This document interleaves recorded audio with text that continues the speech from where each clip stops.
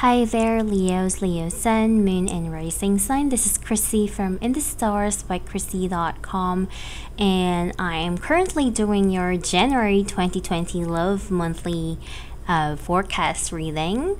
So, again, this is, is a general reading, so it may or may not tune in and connect to every Leos out there, so just keep that in mind. Um, and if you'd like a more personal reading specifically for you, or if you want a reading just like this one, you can do that by booking a session with me on my website, in the stars by Krissy.com. So, anyway, let's get on with the reading for you Leos out there.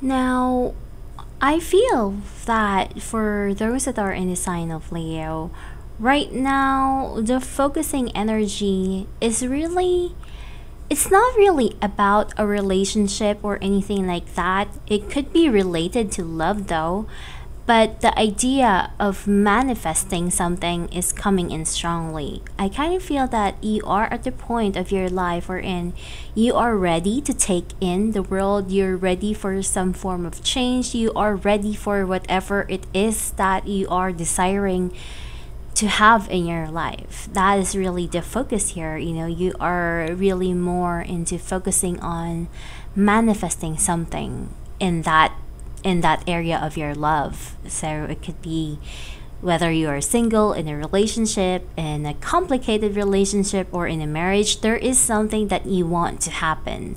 There is something that you want to manifest and to bring into your own reality. And that's really what you are working on right now.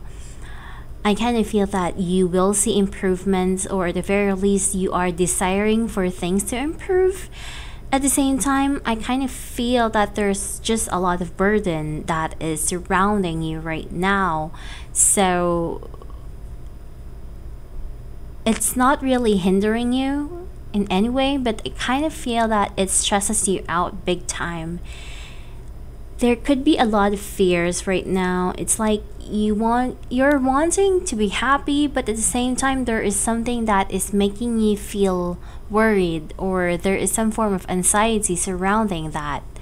So I kind of feel that, you know, there's really no good or bad answer into this. I kind of feel that you are both being fearful of what makes you happy and fearful of the negative things as well. So I don't know if you are just scared or maybe you're just feeling overwhelmed with everything that has been happening for you, maybe even outside of your love life and relationship scenario. But right now, though, I kind of feel that you can you might be feeling emotional. Things have been really great in the past. I do see that there were happy times over here but right now, I kind of feel that you are turning into the more a more serious tone. I kind of feel that there is probably something that you want to bring in to manifest. It could be that you are wanting to talk to someone to finalize something in the relationship. It could be a closure, it could be, you know, a marriage, or it could also be um, something to do with the status quo or to the exclusive dating kind of um, scenario, whether you are exclusively dating in an open relationship, I don't know. I just kind of feel that you are now at the point and at the verge of wanting to set the deal of what is really about this relationship. What do we really have over here? And to you know i to either set boundaries or to make it all clear to, of what this relationship is really all about. So that all of those anxiety and fears can be gone and get over with. So that is really what i'm get, picking up over here. There's also an energy here wherein for some of you guys you feel so tired and drained with whatever has been happening for you and you are just wanting answers right now. The focus of this reading has a lot to do with communication, a lot to do with confrontations as well. And at the same time, you know, uh, fearing and overcoming something can be in the picture as well. There are answers that you really, really want at this time.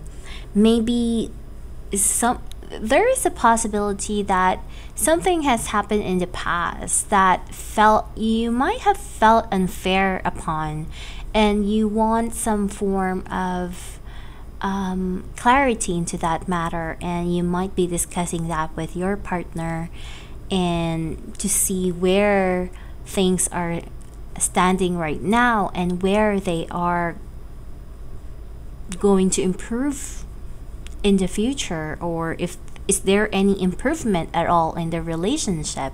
That is really all what you will be focusing on and dealing with to talk about. We do see here that yes there is going to be some form of rekindling. Not really rekindling but making it up with your partner that i'm picking up so there's going to be um, yeah improvement when it comes to relationship.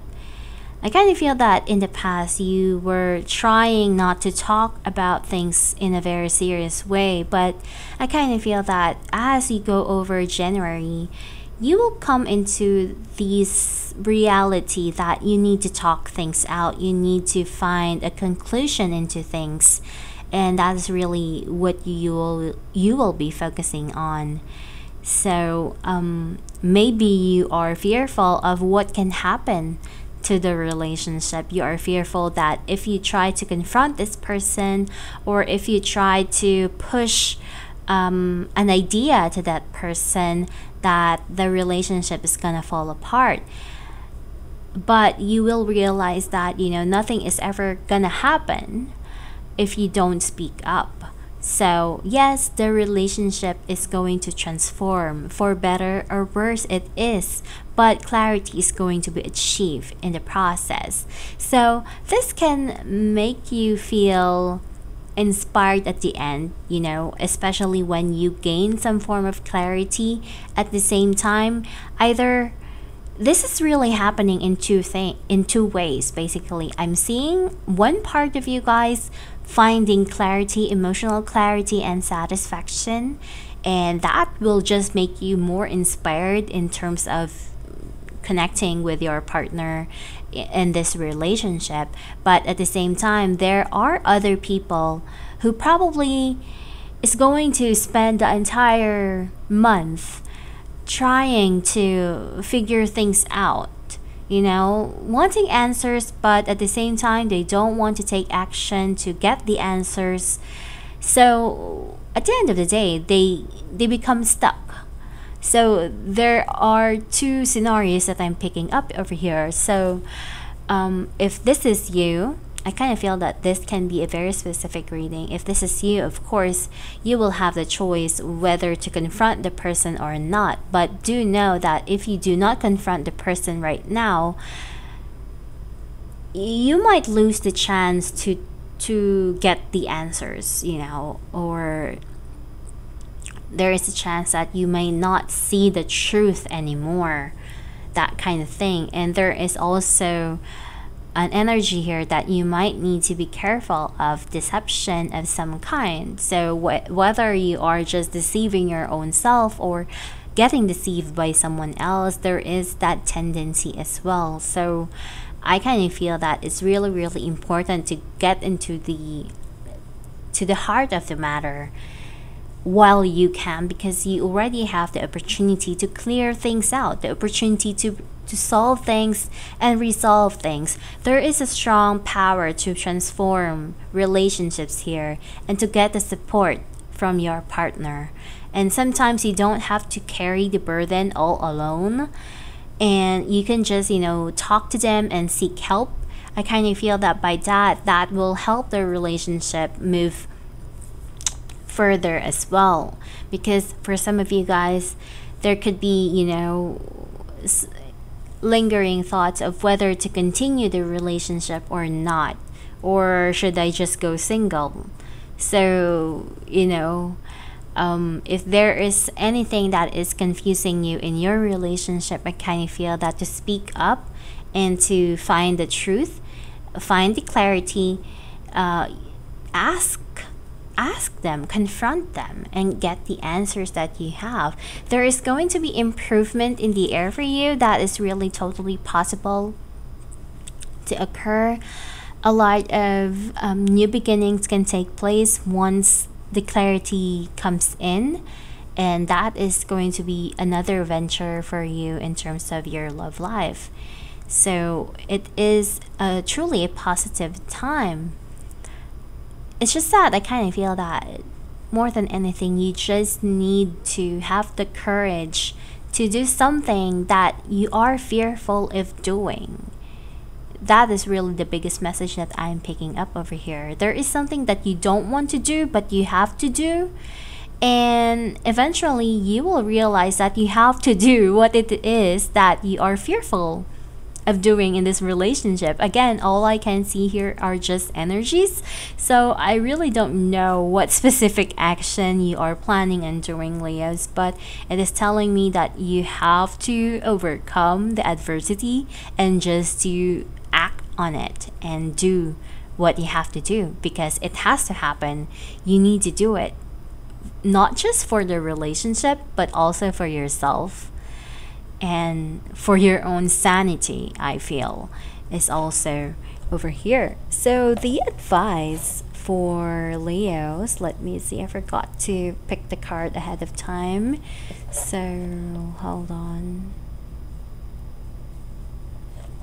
For January 2020, it's an advice.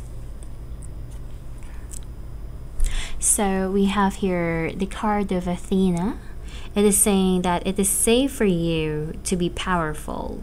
You know how to be powerful in a loving way that benefits others as well as yourself. So, this is really, you know, giving us a message that you don't need to be afraid to overwhelm someone. Maybe you are afraid that by speaking up you might ruin something, but you know, you need to love that about yourself and maybe um, speaking up has get gotten you into trouble before, but right now you are being guided to really get your power back and to be the person that you truly are. You don't have to pretend or you don't have to um, have these mind games wherein I need to do this so that my partner will stay, or I need to do this so that this person will be interested in me. You don't have to do all those kinds of things. I kind of feel that right now you need to take action based on what you truly feel, what makes you happy, what what you really desire right now. I kind of feel you need to focus on what you want you know regardless of whether regardless of the relationship itself i kind of feel that right now for you to be happy you need to do what you want. You need to take action and if you need to say something sooner or later you know that is going to come up anyway. So i i kind of feel it's best to just come out in the open and know that you know maybe this is going to be helpful to your partner as well. So again don't be afraid to to take action and do something. That is really the biggest message that i can tell you guys. And it is going to create improvements and for your relationship and if you are not in contact with your with your special someone or if you had a fight with your person be the first one to speak up. That could be the message here. Of course i'm not telling um, you guys to go back to your ex or anything like that if you don't want to. It's just that whatever you are feeling guided to do right now don't be afraid to do it. Don't think about what will happen if you do something? Just do it. Don't bother with the what ifs or or what nots those kinds of things this is the time wherein your action is going to create some form of movement in terms of your destiny and faith in your relationship but it's definitely going to help things move forward. And you know it can even revitalize a relationship that is dying or becoming stagnant in the process. So um, yeah it is there is going to be help that is going to be transpiring for you if you act upon your true nature, Leo. So, um, yeah, this is really the biggest message that I'm picking up for you guys. Overall, I kind of feel that this is actually pretty much of a good month for Leos out there. Uh, maybe, um, you might just have a lot of things in your mind that you are thinking too much about.